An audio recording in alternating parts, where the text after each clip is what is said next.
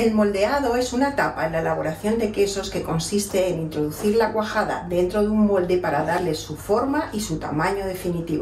Si entendemos que la elaboración de quesos es casi como una deshidratación de la leche líquida, podemos entender que la fase de moldeado es una fase muy importante en el proceso de elaboración de quesos.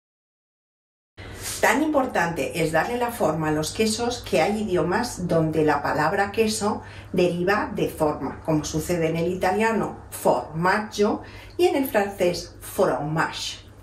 Históricamente hay una correlación entre la zona geográfica donde se produce el queso y el tipo de molde que se utiliza. En las zonas altas donde las cuajadas se someten a elevación de la temperatura, el molido, incluso lavado de las cuajadas, los moldes son robustos para ayudar a estas piezas que se sometan a una gran presión para producir mucha, mucho de suela. En las zonas con climas más suaves los moldes son más finos y tienen muchas más perforaciones y las cuajadas desueran por su propio, por su propio peso. Esto es así porque en las zonas altas solamente en determinados momentos se puede producir queso, precisamente por esta climatología. Por lo tanto, hay que almacenarlo y hay que producir piezas que sean mucho más secas para que puedan aguantar durante más tiempo. En las zonas cálidas, donde no hay escasez de leche, sino que la producción, digamos que es mucho más lineal, se producen quesos mucho más frescos, quesos mucho más húmedos y por lo tanto no necesitamos sacarle tanto suero. Los moldes de hoy en día están hechos de plástico, de plástico alimentario y tienen aberturas para permitir la salida del suero. Otro tipo de moldes van a ser simplemente un aro que vamos a, apoyar sobre una rejilla para que se produzca un desuerado completo de la pasta que suele ser una cuajada blanda. Mi consejo es que compréis o adquiráis moldes entre medio kilo y un kilo, porque para la quesería casera es mucho más fácil madurar piezas que son más pequeñas puesto que maduran mucho más rápido.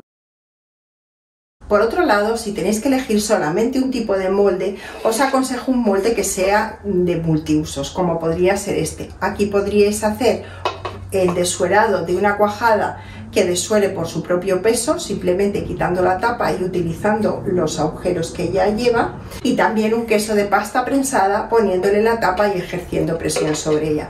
Por lo tanto, con un mismo molde puedo hacer dos tipos de queso diferentes. ¿Qué hacer con los moldes una vez que los hemos utilizado? Si no los podemos limpiar en ese momento, conviene sumergirlos en agua fría hasta que tengamos tiempo para poderlos limpiar correctamente. Comenzaremos siempre con un buen cepillado para eliminar cualquier resto de cuajada que haya quedado. Esto es especialmente importante en aquellos moldes que tienen marcas por dentro, como pueden ser los moldes españoles para queso tipo manchego. Una vez que hayamos eliminado con un cepillo todas las partículas que hayan quedado de la cuajada, máxime después de haber presionado, lo que tenemos que hacer es limpiarlos con agua y jabón neutro. En el caso de que en nuestro domicilio tengamos una lavaplatos, se puede utilizar, si el plástico del que está hecho el molde lo permite a altas temperaturas, un programa de alta temperatura. En el caso de que lo queramos lavar a mano, después de lavarlo con jabón neutro y enjuagarlo muy bien, es importante enjuagarlos muy bien, se puede coger agua hirviendo apagar el fuego y, e introducir los moldes con el agua ya muy caliente pero sin el fuego simplemente introduciéndole durante dos o tres minutos. El molde quizás sea la inversión más grande de todo el material que vamos a comprar para hacer queso en casa. Conviene, la verdad, comprar un molde de calidad o varios moldes de calidad, porque si los tratamos bien nos van a durar toda la vida.